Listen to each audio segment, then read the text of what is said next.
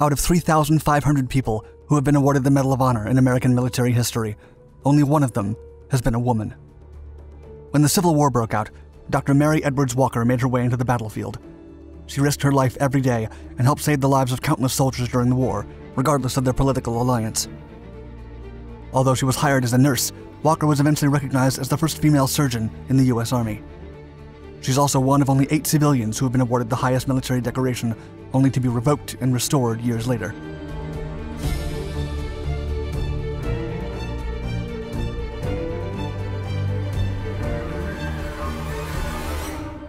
Mary Edwards Walker.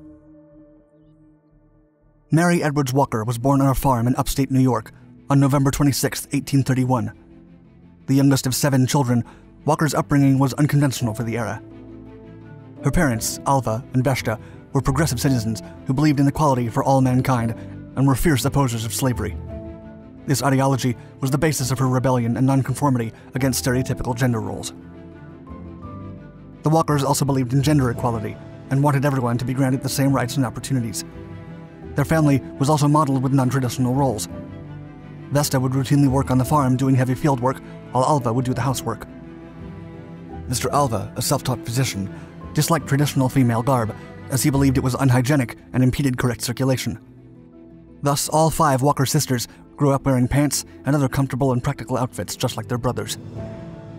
Mr. and Mrs. Walker wanted their daughters to receive the same quality of education as their sons. Hence, the family founded the first free schoolhouse in Oswego on their family land in the late 1830s. After finishing elementary school, Mary attended the Falley Seminary in Fulton. This institution fit her parents' beliefs on progressive reform and gender equality in education. A doctor in the family. After her high school graduation, Mary Walker became a school teacher. During her free time, she would read her father's texts on biology, anatomy, and physiology. Her exposure to medical literature inspired her to become a physician. After saving up enough money to pay for tuition with her salary as a teacher, Mary enrolled at the Syracuse Medical College, where she was the only woman in her class. Walker graduated as a doctor with honors in 1855 after completing three 13 week long semesters. She was the second woman to graduate there after Elizabeth Blackwell, the first woman to receive a medical degree in the United States. That same year, Mary Walker married fellow med school student Albert Miller. At the simple ceremony, Walker wore a T length skirt with trousers underneath, refused to say the word obey in her vows, and maintained her own last name. The newlyweds then set up a joint practice in Rome, New York. However, the business did not flourish, as female physicians at the time were not trusted nor respected. After divorcing her husband due to infidelity, Walker briefly enrolled at the Bowen Collegiate Institute in Iowa in 1860. She was eventually suspended for refusing to resign from the university's debating society, which until then consisted of only men. Walker preferred to dress in men's clothing. A big fan of top hats, coats, and trousers, the doctor became the target of mockery, abuse, and ridicule from patients and civilians alike. A New York Times reporter once described her as, quote, that curious anthropoid. She was also arrested frequently due to her non-conforming actions. However, when asked about her choice to wear men's clothing, she would often reply, quote, I don't wear men's clothes. I wear my own clothes. A suffragist in the field. When the Civil War broke out in 1861, Mary Walker attempted to join the Union Army, but was rejected due to her gender. Walker was offered the role of a nurse, but she declined and chose to volunteer as a civilian surgeon for the Union Army instead. Still, because the Army had no female surgeons, she was only allowed to practice as a nurse at first. Her first post was in Washington, D.C., at a temporary Army hospital. As a fierce advocate for patients' rights, she offered counsel to injured soldiers about their right to refuse limb amputation. If Walker found a soldier facing amputation, she would not risk getting fired or imprisoned and examined the wound herself. In a later interview, Walker stated, quote, In almost every instance, I saw amputation was not only unnecessary, but to me it seemed wickedly cruel. While on duty, Mary Walker continued to push against society's gender norms. Instead of wearing a traditional nurse garb, she donned bloomers and trousers. She eventually fashioned her own modified version of a Union medical officer's uniform, complete with a calf length skirt over trousers. Walker purposely wore her hair long and curled so no one would forget she was a woman. She saw her clothing not merely as a statement, but as a form of convenience, allowing her to move around easily and tend to the wounded. As a suffragist, Walker was delighted whenever she got the chance to meet other women serving in the war, and was one of the witnesses who alerted the press about Frances Hook, a woman who fought in the Union forces disguised as a man. During her first post in the war, Walker also helped establish an organization to help women travel to Washington to visit their wounded husbands, brothers, and sons. She also served at the First Battle of Bull Run in July of 1861. Surgeon Walker.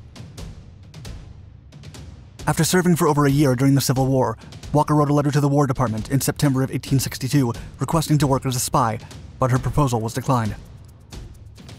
In the meantime, Walker never stopped petitioning to be recognized as an official Army surgeon. In 1863, she wrote to Secretary of War Edwin M. Stanton. When he refused, she addressed President Lincoln directly, asserting that the commission had been denied solely due to her gender. That same year, she was hired as a contract acting assistant surgeon by General George Henry Thomas from the Army of the Cumberland in Ohio. She then became the first female surgeon to serve in the U.S. Army. Dr. Mary Walker was given $766.16 for her service and provided a pension lower than those of Civil War widows. She also frequently crossed the battle lines to help anyone who was injured and treated civilians to medical care. Capture. On April 10, 1864, just as she finished helping a Southern doctor perform an emergency amputation, Dr. Walker was arrested by Confederate troops and charged as a spy for crossing the lines. Walker was sent to the Castle Thunder prison in Virginia. As a prisoner of war, she refused to wear the outfit provided for her and chose to wear pants instead. Her androgynous appearance caused a commotion among the soldiers, some of whom recorded it in their diaries. According to one Confederate captain, quote, the crowd was both amused and disgusted at the sight of a thing that nothing but the debased and depraved Yankee nation could produce. She was dressed in the full uniform of a federal surgeon, not good looking, and of course had tongue enough for a regiment of men. Walker became a free woman on August 12, 1864, when she was released as part of a prisoner exchange consisting of 14 physicians. Medal of Honor. After Dr. Walker was released from prison, she requested to serve as the official surgeon for female prisoners of war in Louisville, Kentucky, still under the title of acting assistant surgeon. After four short months, Walker became frustrated with both prison officials and patients who questioned her medical treatment. She was then transferred to the refugee home in Clarksville, Tennessee, where she treated wounded soldiers once again. When the Civil War ended in 1865, Walker and her supporters continued writing letters to President Lincoln, asking him to appoint the doctor as a commissioned officer. However, after John Wilkes Booth took Lincoln's life, President Andrew Johnson did not believe he had the power to provide a military commission. Instead, he gave Walker the Medal of Honor for her efforts to treat the wounded.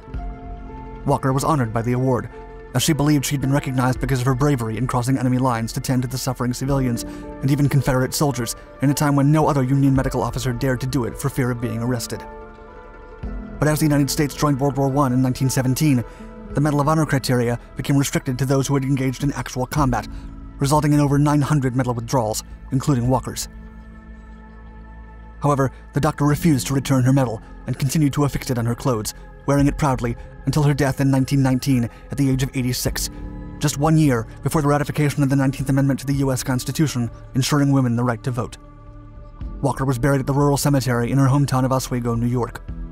Her funeral was simple, with an American flag draped over her casket and wearing her favorite black suit and tie. Posthumous reinstatement. In the 1920s, a campaign to restore Dr. Walker's Medal of Honor was set in motion in her hometown. Word quickly spread about the brave woman who had saved countless lives on the front. Still, it wasn't until the 1970s that the matter was brought before Congress by Anne Walker, a distant niece of the doctor.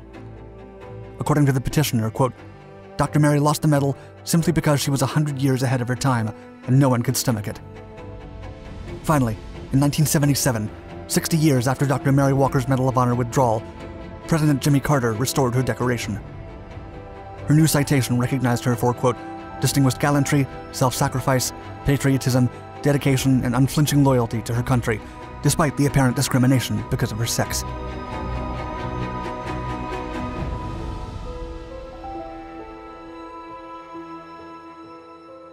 Before you go, don't forget to like and subscribe to our Dark Documentaries channels for more exciting stories about war heroes and let us know in the comments below if you knew about Dr. Mary Walker.